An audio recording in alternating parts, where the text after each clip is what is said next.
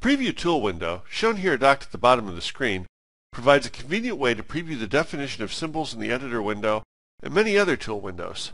This avoids having to open the file just to see the definition.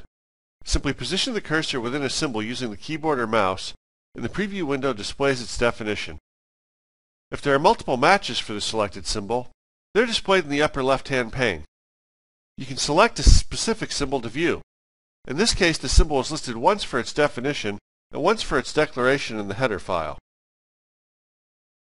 If there's a document comment for the selected symbol, it is displayed in the upper right-hand pane.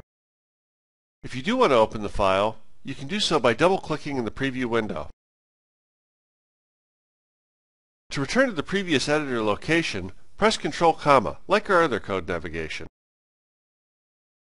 You can view previews for any tool window that displays symbols, like the Defs tool window.